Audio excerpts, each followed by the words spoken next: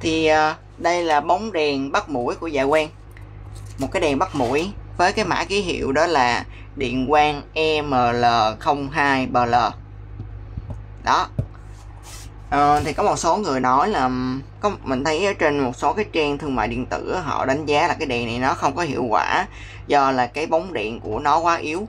Um, thì nếu như mà bóng đèn quá yếu thì mình cũng không có cần phải um, mua một cái đèn khác làm gì mà mình chỉ mua một cái bóng đèn để mình đổi thôi thì đây là cái bóng đèn zin của cái này, của cái máy bắt mũi này. Cái bóng đèn zin của nó, nếu như mà mình mua thay thế thì giá của nó khoảng chừng ờ, sáu mươi mấy, bảy chục ngàn gì một cái bóng như vậy nè. Đó, cái bóng như vậy. Thì nó có một cái hình hoa mai đầu chụp ở trên đây nè. Cái đèn này thì nó làm bằng ờ, nó làm bằng thủy tinh nha và mình cũng không hiểu sao mình mình mới mua có mấy ngày mà nhìn nó hơi bị đen đen với lại giống như là nó có bụi ở phía bên trong mình cũng không biết nữa. Thì mình đã mới vừa tiến hành uh, thay cái đèn zin này bằng một cái bóng đèn khác cho cái ánh sáng mạnh hơn thì có khả năng thu hút mũi nhiều hơn. Um, cái bóng đèn này là cái bóng đèn ánh sáng màu tím nha và cái ánh sáng của nó rất là rất là dịu nói chung là nó mờ câm mà. Um, để buổi tối thì nó hơi sáng sáng chứ còn để buổi sáng hầu như là nhìn cũng không thấy cái đèn luôn á đó đây là cái bóng đèn zin của cái đèn bắt mũi này của cái đèn bắt mũi dạ quang này. À, và đây là cái bóng đèn mà mình mới vừa thay thế mình mua hai bóng lần. Đó đây là cái bóng thứ hai nè. Um, và hai cái bóng đèn này á nó chỉ à, khác nhau về cái độ dài thôi. Cái bóng đèn zin này á, thì nó sẽ dài hơn. Và có cái này để giữ.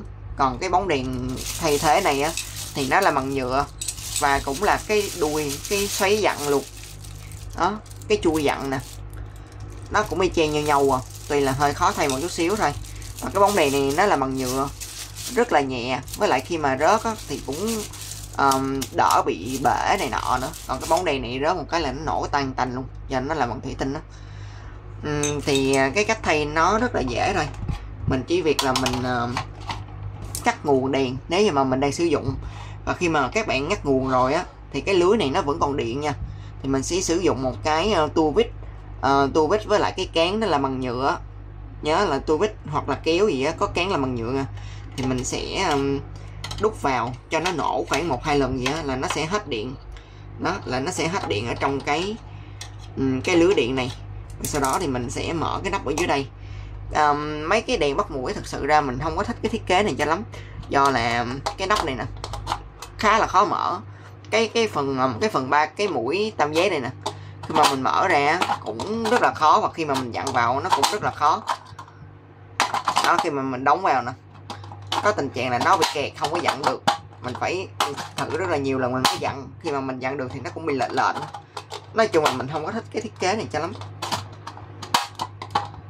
Đó không giờ nó kẹt cứng ngắt, rất là rất là khó để mở ra luôn.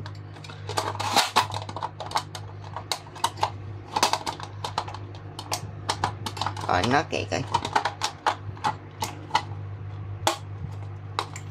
nó kẹt cứng ngắc rồi sau một hồi loay hoay thì mình cũng tháo ra được.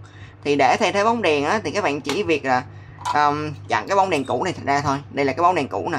Do là cái bóng đèn cũ này á nó dài nên là cái độ dài của nó nó sẽ tới đây luôn tới cái mép này luôn. Đó tới cái mép này luôn. Còn cái bóng đèn thay thế á, thì nó hơi ngắn nhưng mà mình mình cũng có thể mình thọt tay vô mình thay thế được. Mình sẽ sử dụng ba cái ngón tay nè để mình dặn mình thay thế thôi. Đó. Mình uh, thay thế mình thay thế nó. Ù nó bị rớt cái đầu ra rồi. Nó bị rớt cái đầu rồi. Đây là cái đầu chụp nhựa không sao không sao. Nó chỉ đơn giản là một cái đầu chụp nhựa, nhựa thôi. Ồ ở phía bên trong thì nó chỉ có một cái led thôi nha ở phía bên trong cái đèn này nó chỉ có một cái led đơn giản thôi. Đó, thì mình sẽ ờ, xoay nó. Ồ, hơi khó. Nhưng mà nói chung là mình đã thay thế cái đèn này rồi. Đó, về cơ bản là vậy thôi. Sau khi mà mình đã thay thế rồi á, thì các bạn sẽ tiến hành gắn cái này lại.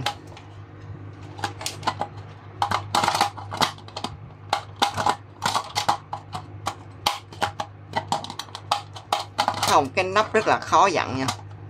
Cái nắp khó dặn cực kỳ đó, mình thay thế rồi nè. Và bây giờ mình sẽ tiến hành mình mở lên. Sẽ xem được cái ánh sáng của nó, cái đèn này, ánh sáng nó màu gì nha. Đó, ánh sáng này, ánh sáng màu xanh. Nó sẽ sáng hơn ờ, cái đèn này. Cái đèn này là ánh sáng màu tím. Còn cái này là ánh sáng màu xanh nè đó, nó sẽ sáng hơn một chút xíu.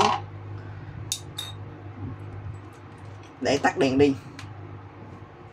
Không nó sẽ sáng hơn cái ánh sáng màu tím này.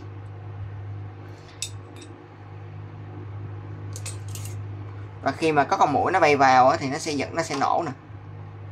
Đó nó sẽ nổ bóp bóp bóp bóp. Đó vậy thôi rất là đơn giản dễ sử dụng và cái điều quan trọng nữa thì uh, cái bóng đèn mà thay thế này á, nó sẽ rẻ hơn. Nó có hai mươi mấy nghìn một cái à. Còn cái đèn zin này á tới khoảng 70 ngàn lần. Nhưng mà mình thích cái ánh sáng màu xanh này hơn cái ánh sáng tím. Cái đèn này ánh sáng tím nè. Còn cái đèn này là ánh sáng màu xanh mình mới vừa thay thế. Thì đó là cách thay đèn.